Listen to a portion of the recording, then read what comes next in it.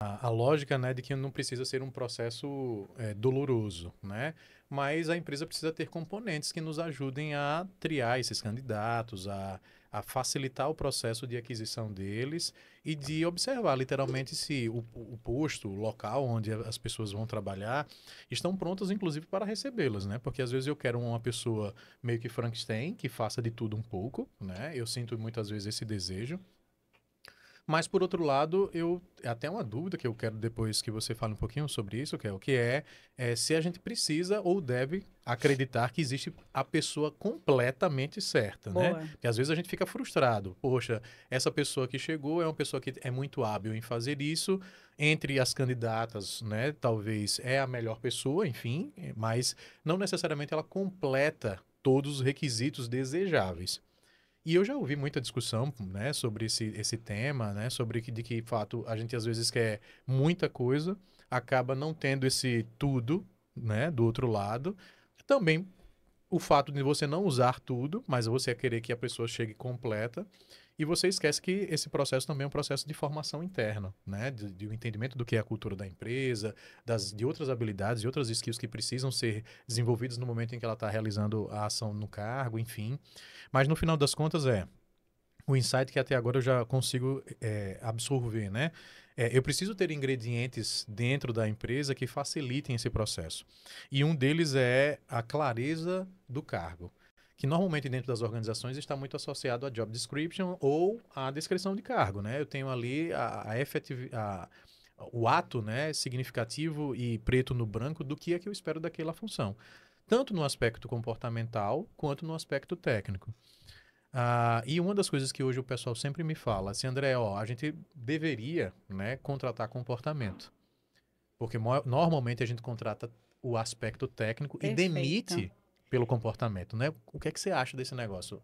É, André, é, você me fez lembrar de uma pesquisa que saiu, acho que em 2020, a atualização da Sim, Michael Page, certo. que é uma consultoria global de recrutamento Perfeito. e seleção, é, que nove em dez profissionais são desligados por comportamento e são contratados pelo técnico. Perfeito. Então, a cada dez profissionais que são contratados no mercado de trabalho, é priorizado o técnico, mas eles são demitidos, nove deles Perfeito. são demitidos pelo comportamento, pela conduta ou por algum fit ali que não, não deu, né? Tá. Com, com relação a, ao momento comportamental dele, do com, competência.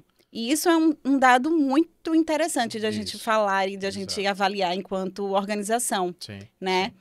É, como é que está sendo essa jornada para encontrar essa pessoa se a gente está priorizando o técnico e demitindo o comportamento? Perfeito. Como que a gente faz isso? Uh, e aí, pra, pensando nisso, quando você fala, me veio muito um insight de assim, uh, a gente precisa entender de que para gestão de pessoas, um ponto muito importante é alinhamento de expectativa. Perfeito. Alinhamento de expectativa é uma coisa assim que a gente precisa contemplar de que a gente não vai ter tudo. Tá. Eu, como gestor, também não tenho tudo. Sim. Né? Por isso que talvez eu preciso contratar pessoas que tenham ali um pouco. Que completem. Completem e que deem esse match comigo para que a gente possa alcançar novos voos e, e, chegar em locais maiores. Por isso que o sonho que se sonha só é apenas um sonho, sonho, sonho que se sonha junto é realidade. Perfeito. Justamente por esse contexto, né?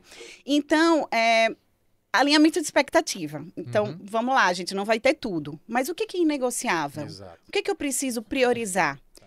E esse alinhamento de expectativa, a gente precisa dividir com os candidatos também. Sim. Olha, é inegociável para essa posição que eu tenha disponibilidade de tempo, tá. que eu tenha é, saber lidar com pressão, que eu tenha que ter uma pessoa que consiga manusear muito bem Excel, que Perfeito. faça excelentes planilhas, que consiga me dar alinhamento de expectativa. É tá. muito importante dizer o que é inegociável para mim. Olha, nessa posição, isso para mim eu não consigo abrir mão. Tá. E tá tudo bem. Eu acho que a gente precisa entender esse lugar, Sim. né? E assim, e eu enquanto candidato também entender de que qual é o meu lugar de saber que tem coisas que eu tenho uma curva de aprendizado menor certo. e uma curva de aprendizado maior. E aí, é, isso é importante a gente saber o nosso lugar de que tem coisas que eu não vou conseguir entregar. Certo. E aí, então, não faz parte do meu escopo nesse momento.